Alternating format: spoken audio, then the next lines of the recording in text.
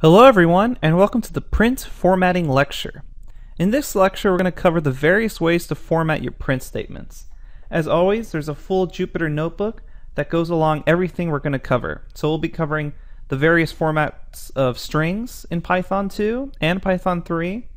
We'll also go over floating point number syntax. We'll look at some conversion format methods. We'll look at multiple formats and then we'll look at the string.format method which is probably the best way to use print formatting in Python. Okay, so let's go ahead and get started with some live code. First thing we're going to do is what we just covered in the string lecture, which is just a basic print statement. Again, remember, this is for Python 2. So I'm going to say this is a string. If you're using Python 3, this would be a print function, which we covered in the last lecture. Continuing on, let's say we had a variable that we wanted to insert into this string. So I'm going to make a variable called s, and it will be called string. And now what I want to do is place that string within another string, or really place that variable. So I'm going to say print place my variable here. And the syntax looks like this. It's going to be percentage sign s percentage sign parentheses, and then the object variable label. So if I click Shift Enter here, it's inserted that string variable into my other string. And I want you to notice here, I could have named this variable anything. So I could have said x here, and as long as it matches up x, it'll still work. What this S stands for is string. So what this is actually doing it's transforming whatever object you have in these parentheses in front of the percentage sign into a string so it can place it in the string. And because it's transforming it into a string, I can actually put in numbers here as well. And if I run this cell, you'll notice it still works. And it's the same with floating point numbers. So for instance, 13.13, if I run it, it takes 13.13 here as x and transforms it into a string that I can put and format into my string before I print it. Okay, so that's one method of putting your variables into your string. Let's go ahead and check another one that's more specific to floating point numbers. So I'm going to say print floating point number colon and the format's going to look something like this. It's going to have that same percentage sign but it's going to have two decimals of a, um, excuse me, two numbers of a decimal in between. So I'm going to say 1.2 and then an F for floating point number. And then we'll close off that string with a single quote. And here we'll pass in a floating point number. So let's say 13.145. All right, so let's take a look at what happens.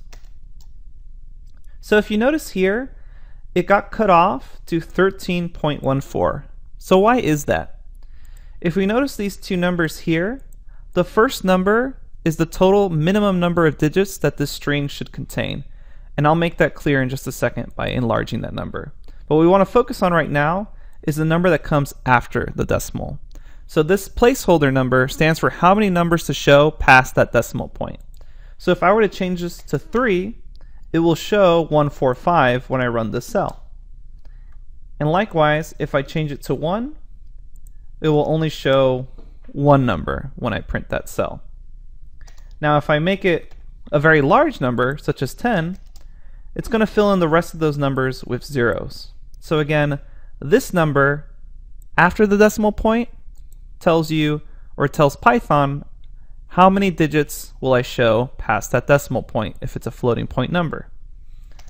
Let's go ahead and remain it with 3, or have it stay with 3. Now, this first number is the total minimum number of digits that the string should contain. At least that's the way you can think about it.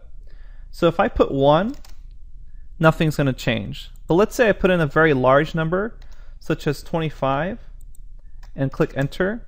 Notice how we fill in a bunch of white space. So since you're telling Python, I need this entire digit here to take up 25 essentially characters. it's going to fill in the characters that are not there with white space. So you can go ahead and just arbitrarily leave this as 1 if you're not really concerned about your print formatting for floating point numbers. If we hop back over to the Jupyter Notebook, I've put in quite a few examples for you to really get an idea of how this affects your print statements. Okay, let's go ahead and move on to conversion format methods, which we've actually already seen one. So these two methods will just convert any Python object into a string. So the first one that we have already seen is convert to string, and that's just that percentage sign s.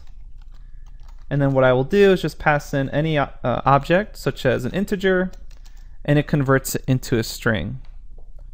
The other formatting tool we can use is percentage sign r, and it will actually do the same thing. But the difference between them is they use two separate methods. One uses something called str function, and the other one uses this um, repr function. So don't worry about those specific functions right now. We'll learn about them later on and how those two separate methods are different. But I just want you to be aware of R and S as print formatting options. Okay, so let's say you wanted to put in more than one variable into your string. How would you do that? Well, you can use multiple percentage signs.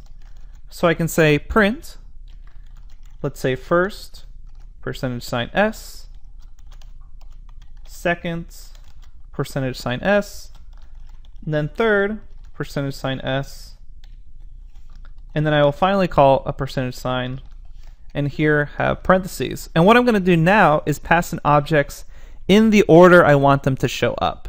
And this is something um, that we're going to look into further in just a tiny second. So if I say hi as my first object, and I'll have this one say 2, and this one just pass in a number 3, and I run that cell, what Python's going to do is it's going to take them in order. So this first percentage sign is going to be assigned the first item in this, which is a tuple, which we actually learn about in later on.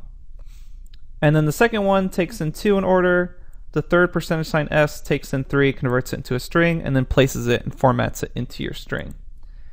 This is kind of a classic method that you see used a lot when you're reading other people's code.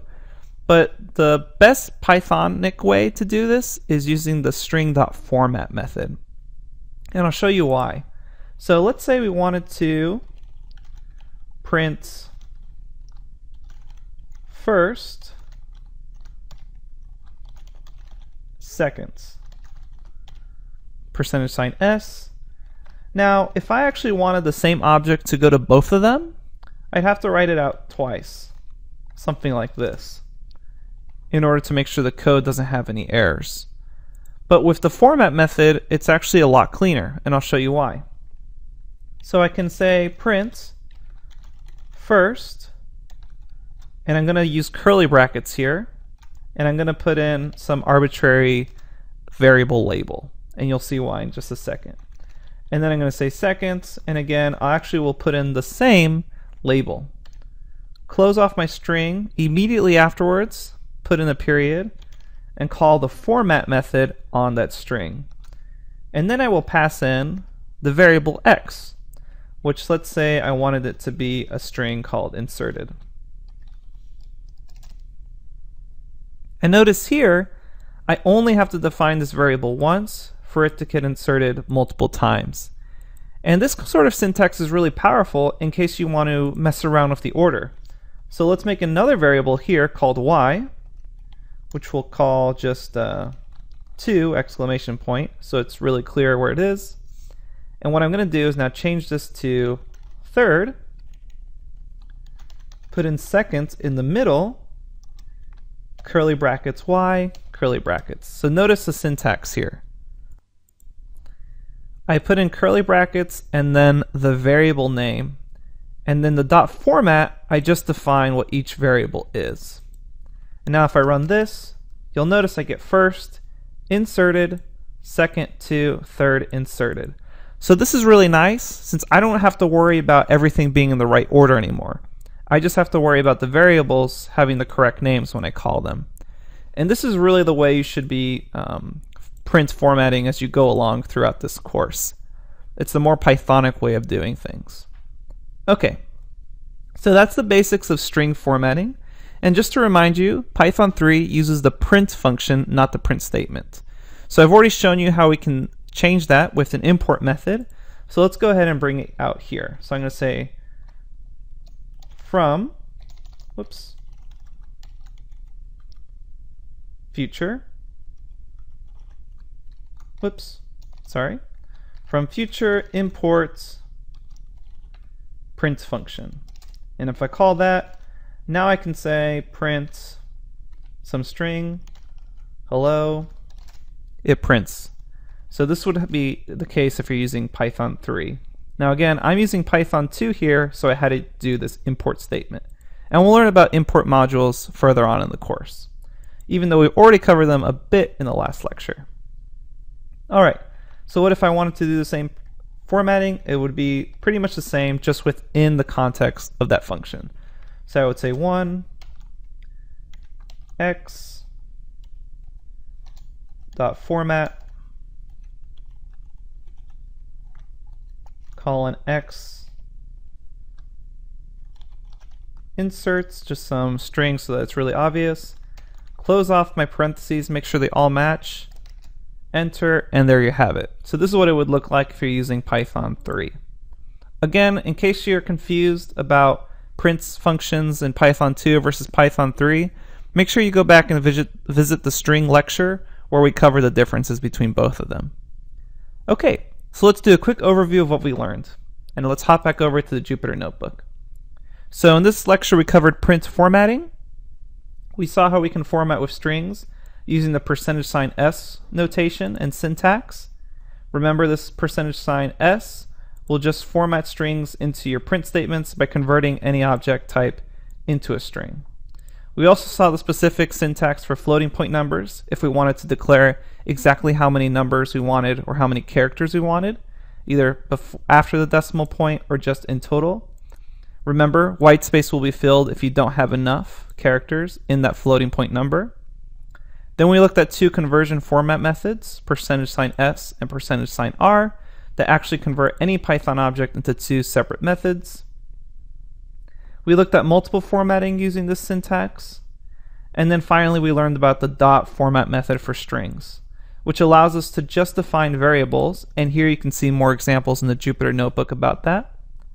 But what's nice about this is we only have to worry about calling the variable names inside these curly brackets instead of maintaining the order as we did in that previous percentage sign method.